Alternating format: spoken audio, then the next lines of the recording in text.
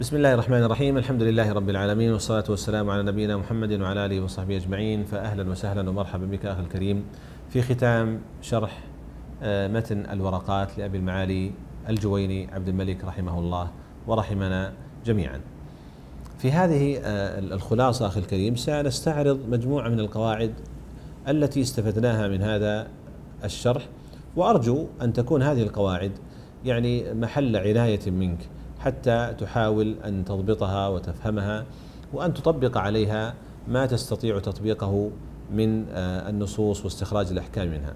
فأولا قلنا الأحكام الشرعية منها تكليفي يراد به طلب الفعل أو تركه ومنها وضعي هو علامة على الأحكام التكليفية. والكلام إما خبر يحتمل الصدق والكذب أو إنشاء يراد به طلب فعل أو ترك. والأصل في الكلام الحقيقة. ويشترط لصحة المجاز وجود قرينة ودليل يدل عليه. ويحمل كلام كل متكلم على ما جرت عادته به في خطابه. والأصل في الأمر الوجوب ويصرف إلى استحباب دليل أو قرينة. والأمر لا يقتضي التكرار إلا بدليل. والأمر يقتضي الفورية على الصحيح من أقوال العلم ما لم يدل على التراخي دليل. وما لا يتم الواجب إلا به فهو واجب. وما لا يتم الوجوب إلا به فليس بواجب. والوسائل لها أحكام المقاصد وقلنا أن هذه القاعدة أعم من قاعدة الواجب لا يتم ما لا يتم الواجب إلا به فهو واجب. ثم الأمر بالشيء يستلزم النهي عن ضده والنهي عن الشيء يستلزم الأمر بأحد أضداده. ثم أخذنا أن الأصل في النهي التحريم ويصرف إلى الكراهة بدليل أو قرينة وأن النهي يقتضي الفساد. ثم عرفنا أن العام يعمل بعمومه ما لم يدل دليل على تخصيصه. ويحمل المطلق على المقيد إذا اتحد الحكم والسبب ولا يحمل عند اختلافهما إلا إلا بدليل.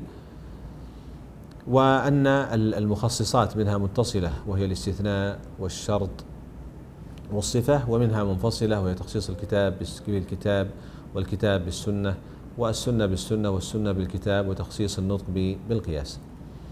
ثم ذكرنا أنه يجب حمل الجمع بين نصوص الشريعة بحيث تفسر المجمل منها بيش بالمبين. وأن المجمل هو ما يحتاج إلى إلى نص آخر يوضحه ويبينه وأن البيان هو إخراج الشيء من حيز الإشكال إلى حيز التجلي وأنه يجب العمل بالظاهر ما لم يدل دليل على صرفه عن ظاهره. وأن التأويل هو صرف اللفظ عن معناه الظاهر إلى معنى آخر بدليل صحيح. ثم ذكرنا أن التأويل الصحيح هو ما كان آه، في اللفظ دلالة عليه. وكان هناك دليل يدل على المصير إلى هذا المعنى المرجوح وسلم هذا الدليل من معارض يعارضه. ثم عرفنا أن أفعال النبي صلى الله عليه وسلم الأصل فيها التشريع إذا آه، ولا يحكم عليه بالخصوصية إلا بدليل. وأن ما فعله النبي صلى الله عليه وسلم بقصد القربة ولم يكن خاصا به فيشرع على التأسي فيه. وكل قول أو فعل فعل أمام النبي صلى الله عليه وسلم فأقره أو فعل في زمانه فعلم به فأقره يكون كقول النبي صلى الله عليه وسلم أو فعله. ثم ذكرنا أن النسخ هو رفع الحكم الثابت بخطاب المتقدم بخطاب متراخ عنه على وجه لولاه لبقي ثابتا وأن هذا النسخ لا يصار إليه إلا بدليل وعند تعارض لفظين يصار إلى الجمع ثم النسخ بشروطه ثم الترجيح ثم التوقف وإذا كان آه، النص أحدهما عام والآخر خاص فإننا في هذه الحالة نحمل آه، العام على الخاص ونفسره به. ثم قلنا الإجماع منه قطعي وظني. وهو حجة. إلا الظن إذا عارضه نص فلا بد من الترجيح بينهما. وكذلك قول الصحابي أرجح من قول غيره. وليس آه، حجة مطلقا. ويعني القول بحجيته قول يعني يحتمل الصحة ويجب العمل بكل ما صح عن النبي صلى الله عليه وسلم متواترا كان أو آحادا والقياس الصحيح حجة وهو أنواع بعضها أقوى من بعض ثم عرفنا أن الأصل في الأشياء الإباحة والحل وأن الأصل براءة الذمة وأنه إذا تعارض دليلان قدم أقواهما وأن الاستصحاب لا يصار إليه إلا عند عدم بقية الأدلة ثم عرفنا أن كل من بذل وسعه في معرفة الحكم فإن أصاب فله أجران وإن أخطأ فله أجر واحد. آه، وأصول الفقه أحد العلوم التي لا غنى لطالب العلم عنها لما فيه من حفظ معاني كلام الله وكلام رسوله صلى الله عليه وسلم وأيضا أن الاجتهاد أن المست أن المفتي لابد أن تتوافر فيه شروط حتى يسوغ للمستفتي أن يقلده. وأن التقليد يعني يصار إليه آه، عند الحاجة لعدم الوصول للحكم الشرعي. ثم آه، من نتائج هذا الدرس أخي الكريم وجوب التمسك بكتاب الله تبارك وتعالى وسنة النبي صلى الله عليه وسلم وفهمها الفهم الصحيح. ومن الفوائد التي أخذناها هنا أن الأدلة هي أعلام نصبها الله تبارك وتعالى لمعرفة الحق. فلا بد من فهمها ومعرفة كيفية دلالتها ولا بد من التمييز بين ما هو دليل وما ليس بدليل والتمييز بين مراتب هذه الأدلة. وأيضا لا بد أن تتنبه إلى اختلاف الاصطلاحات في علم أصول الفقه وأثر ذلك على الفهم وتنوع الاصطلاحات أيضا ما بين أصول الفقه وما بين الفقه وما بين مصطلح الحديث والسنة النبوية. ثم بعد ذلك أخي الكريم ماذا بعد هذا الشرح؟ أو ماذا بعد متن الورقات؟ آه، من أراد الاكتفاء بهذا المتن فعليه أن يكثر من مراجعة مسائله وتطبيقها في واقعه.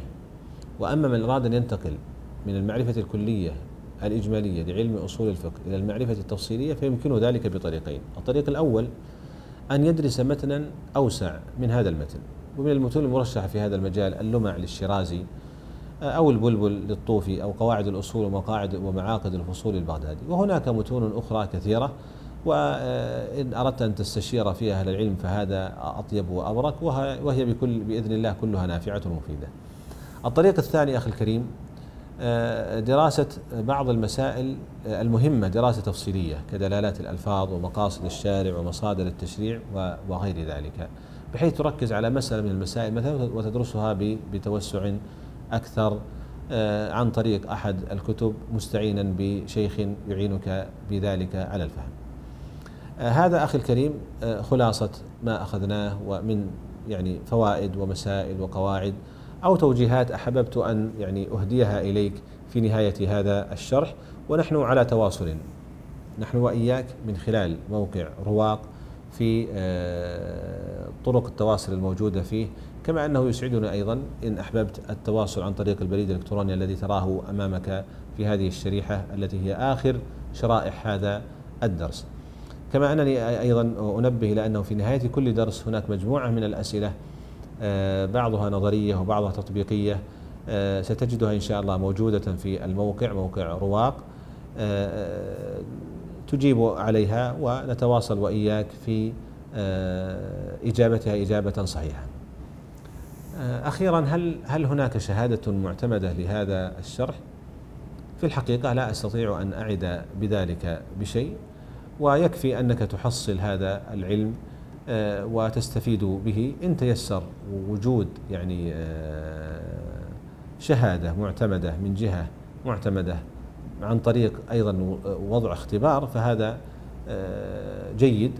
وإن لم يتيسر فيكفيك أنك جلست مجالس علم تتعلم فيها كلام الله وكلام رسوله صلى الله عليه وآله وسلم. نسأل الله بمنه وكرمه أن ينفعنا وإياك بما قلنا. وأن يجعله حجة لنا لا علينا وأن يجعلنا وإياك هداة مهتدين وصلى الله وسلم على نبينا محمد وآله